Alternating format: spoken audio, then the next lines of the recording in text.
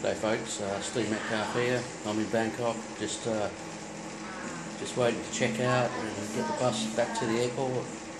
Um, flying off to um, Singapore today, so um, don't worry, I've done my 10, clicked my 10 ads, so I'm all set. I'm just um, just at this uh, um, hotel here uh, near Bangkok Airport, just for um, just overnight and uh, yeah, it's not a bad little place here. And uh, I've, I've clicked my 10 ads and I'm, um, I'm off to the airport, so catch you later.